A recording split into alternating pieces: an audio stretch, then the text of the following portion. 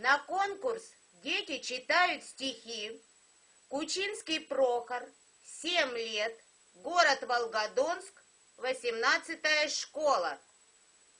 Сергей Есенин, белая береза. Белая береза под моим окном Принакрылась снегом, точно серебром. На пушистых ветках снежную